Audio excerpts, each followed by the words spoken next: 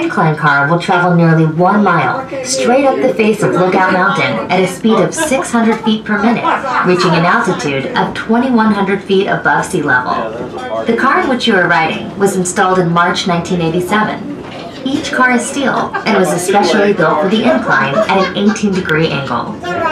Each car is 42 feet long and weighs 12 tons. Two, one, and a quarter inch wire cables carry the incline cars up and down the mountain. You should feel more comfortable about your ride, knowing that the cables have a combined strength of 142 tons.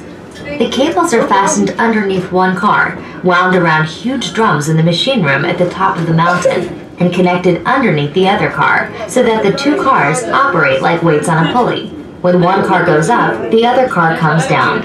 The entire cable system is changed every three years.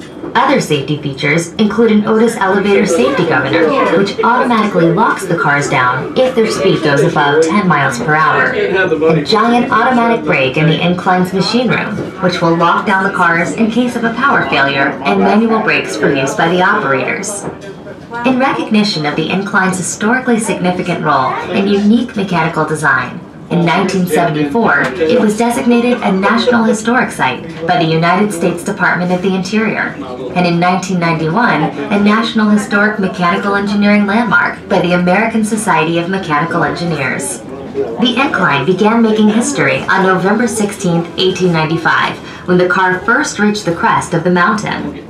The car was made of wood with open windows that gave the passengers an exhilarating feeling as they traveled up and down the mountain.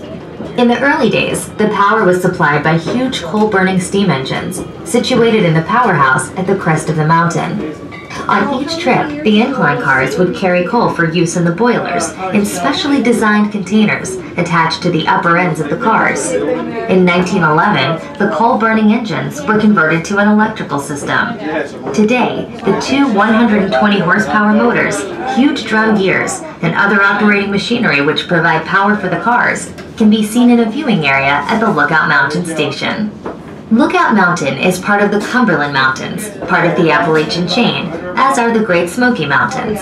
Lookout Mountain is the southernmost mountain in the Appalachians. Many of the mountain residents use the incline. Sometimes they're only linked with the top of the mountain when we have ice and snow, which luckily isn't too often. The incline has also been used to transport freight, mail, and school children. As the incline is the fastest method of transportation up and down the mountain, it has been known to help a mother-to-be make it to the hospital on time. There have been several weddings aboard the incline while the cars climb the mountain. As the incline climbs historic Lookout Mountain, it will travel through the cities of Chattanooga and Lookout Mountain, as well as Hamilton County and the Chickamauga and Chattanooga National Military Battlefield. Traveling up the mountain, you'll find that the air gets cooler, since there's an approximate 8 degree temperature difference between the Chattanooga Valley and Lookout Mountain. The grade of the track at the steepest point near the top is 72.7%, giving the incline the unique distinction of being the steepest passenger railway in the world. When we reach the top, visit our observation decks, the highest observation points on Lookout Mountain, for a breathtaking view of the Chattanooga Valley. On a clear day, you can see six states.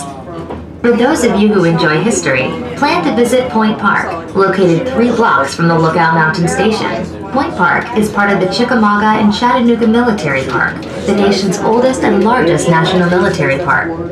The famous Civil War Battle Above the Clouds was fought at the park in November 1863. The battle took place on a day so rainy, misty, and foggy that many times the soldiers had to withhold their rifle fire for fear of hitting friend rather than foe, thus the name Battle Above the Clouds. Another problem in defending the mountain was that as the soldiers lowered their cannons to fire on the troops coming up from below, the ball would roll out of the cannon barrel. When General Grant was on Lookout Mountain in 1863, it took him nearly four hours over very rough roads to reach the top but as every visitor to the Point area discovers, it's worth the effort. Today, the incline railway takes riders almost a mile straight up the face of Lookout Mountain in about 10 minutes. At Point Park, three blocks from the Lookout Mountain Station, you too can marvel at the view that General Grant saw of the Tennessee River Valley 1,500 feet below. For unique, computerized, and other displays of Chattanooga's Civil War history, visit the Battles for Chattanooga Electric Map and Museum across from Point Park. We hope you enjoy your ride on the incline. When you reach the Lookout Mountain Station, take your time and enjoy the shops, observation decks, machine room, and incline photo exhibit. On behalf of all CARTA employees, have a nice visit on historic Lookout Mountain.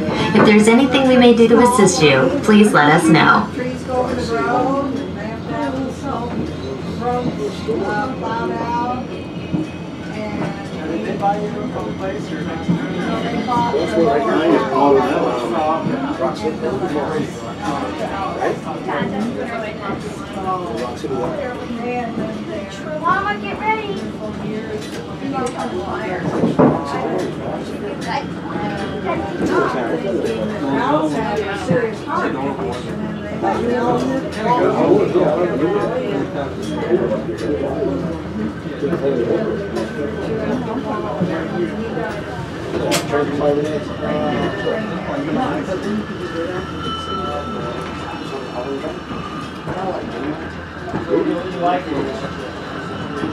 here we go. Yeah, I can grow my car, my yard is usually almost here.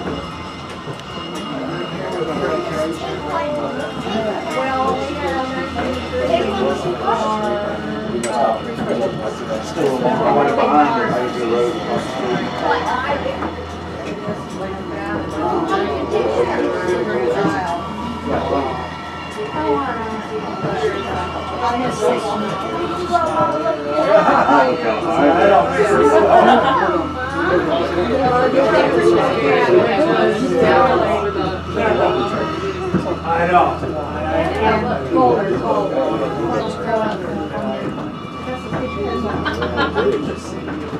When we got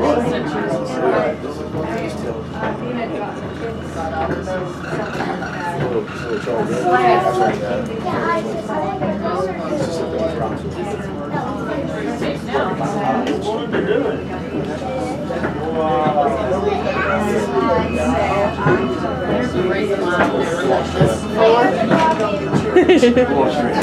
Straight up. Wow.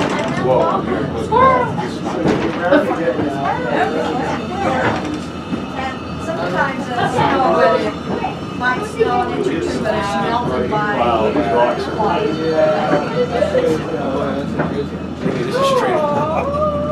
All right, we got three more cars heading down the mountain, Five twenty. Five forty is our last trip for today. Please remain seated before we come to a complete stop. We thank you for riding and flying with us today.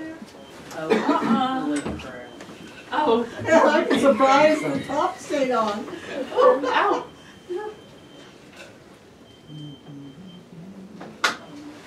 This part goes slow. Yeah, That's an expensive. I don't know. well, let's see, it's not. Going down? One that fully Yeah, does it was it. looking at it. So I would say-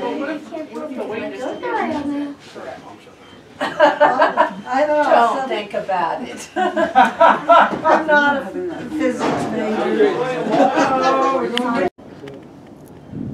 So you could actually drive with it if you wanted.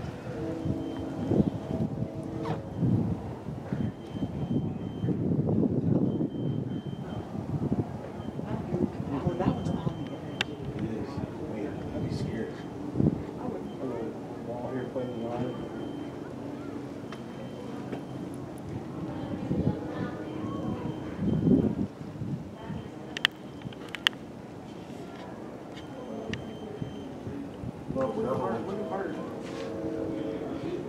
Same height.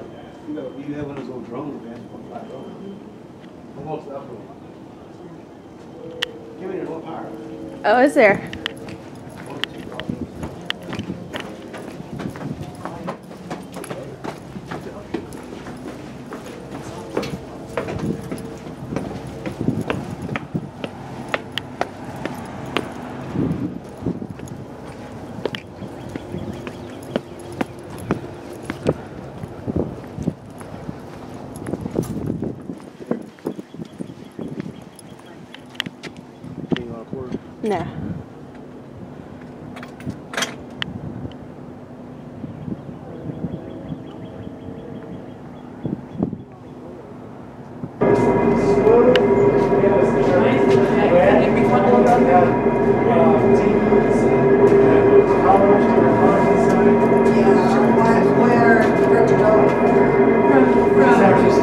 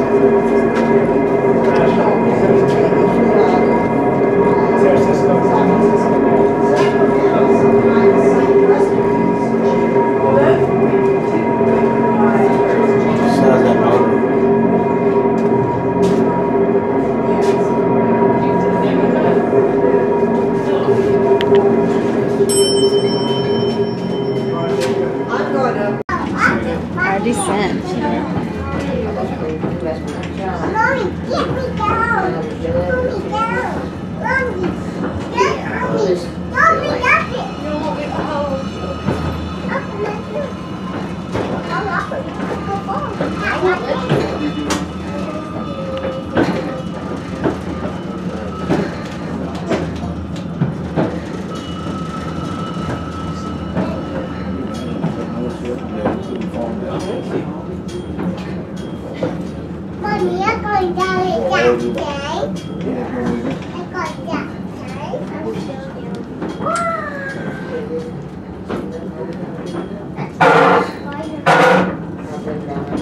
That don't sound good.